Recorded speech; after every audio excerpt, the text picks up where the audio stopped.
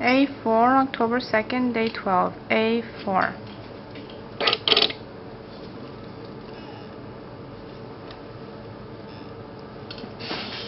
A4, six.